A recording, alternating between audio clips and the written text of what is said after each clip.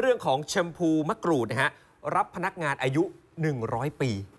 ฮะร้อยปีครับอ่า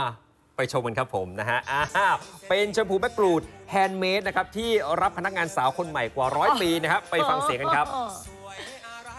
ให้พรหน่อยจ้ะเออเจริญเจริญลูกเริ่มรวยรวยนะเงินทองไหลมาเทมาอายุมั่นขวัญยืนนะลูกนะเดินได้เงินคิดทองไม่ได้ทองอยู่มันเหมือนยืนนะ ขอบคุณค่ะไอ้นุ๊กมาซื้อขนมมาให้ให้พรหน่อยเอจ้ะอให้เจริญเจริญลูกกันเลยเราไม่รวยนะเงินทองไหลมาเทมาลูกอายุมันเหมือนยืนนะสาธุค่ะเออคิดถึงยายมึงอย่างนี้ด้วยพูดเหมือนยายน้อยเลยค่ะเธอลูกเสียแห้อ้าวนะครับ นี่เลยครับที่เราเห็นฮะคือบอกเลยว่าถ้าติดสลักเบี้ยวแบบนี้ รับรองว่าของแท้แน่นอน ของแท้ของแท้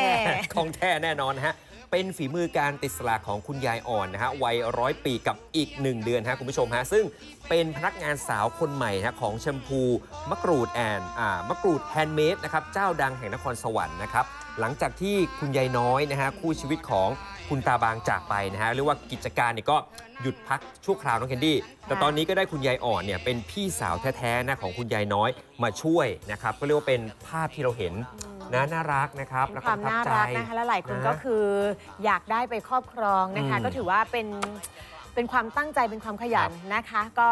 ไปอุดหนุนคุณตาคุณยายหน่อยนะคะอ้าวนะครับใครที่อยากอุดหนุนฮะคุณผู้ชมฮะก็ไปสั่งได้เลยนะของแท้เลยนะค่ะทาง t ิ k t o k นะฮะตานีครัวเตาถ่านครับนี่อ่าไปสั่งนะคะได้เลยจ้ะไปลุยงานกันต่อนะฮะอะไปที่มหาสารคามนะค่ะเป็นบันไดไม้ไผ่ไม่ใช้ตะปูครับอ้าวอ่าหลายคนแปลกใช่ไหมเออแปลกเดี๋ยวไปชมกันครับผมนะฮะ ต้องไปที่นี่ฮะริมถนนหลวงนะครับหมายเลข 208 นะครับมหาสารคามนะครับอำเภอโกสุมพิสัยนะครับบ้านโนนสะอาดนะครับอ้าวนะฮะคืออยู่ที่อำเภอเมืองขาเข้านะฮะก็จะเห็นบันไดไม้ไผ่เนี่ยนะครับวางพาดแบบเป็นแถวๆเลยนะครับแล้วก็มีความยาวที่แตกต่างกันนะครับ ซึ่ง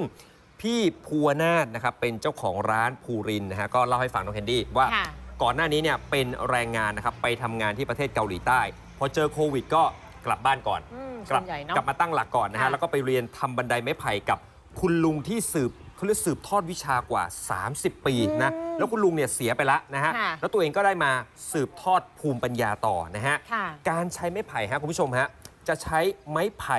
ด้ามขวานนะครับ เพราะว่าเนื้อแข็งนะครับแล้วก็ลำต้นเนี่ยตรงยาวนะฮะอ้าวแล้วก็แข็งแรงมาก น้ำหนักเบานะครับยืดหยุ่นนะครับรูเล็กแล้วก็เหนียวนะครับนี่ฮะ ที่เราเห็นภาพนะฮะกำลังมาเผาก่อนนะฮะเมื่อได้มาแล้วเนี่ยก็เอามาตากแดดนะฮะทิ้งไว้ประมาณ 2-3 วันนะครับแล้วก็เลือกตามความยาวของไม้ไผ่ที่เราต้องการเลยนะค่ะ อ้าว6เมตร 7 เมตร 8 เมตรนะครับแล้วก็เผาไฟที่เราเห็นอยู่ครับคุณผู้ชมฮะเพื่อให้ความร้อนเนี่ย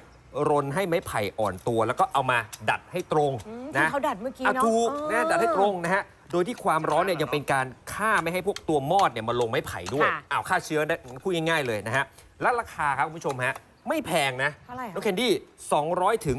850ถูกบาทมากนะตามขนาดของบันไดค่ะ นะ ซึ่งบันไดของร้านเนี่ยจะได้มาตรฐานนะครับ ไม่ใช้ตะปูตีครับคุณผู้ชมฮะ ใช้เป็นสลักยึดน้องแคนดี้ ค่ะ เป็นตัวสลักยึด คือยึดให้แน่นแล้วก็ขันชะเนาะอันเอานี้อย่างเงี้ยอย่างเงี้ยแน่นมาอ่าก แน่นมากนะฮะ ค่ะ เดี๋ยวเราให้ดูภาพไปด้วยนะ ซึ่งใช้ได้ทนมากนะฮะ ที่น่าสนใจคือ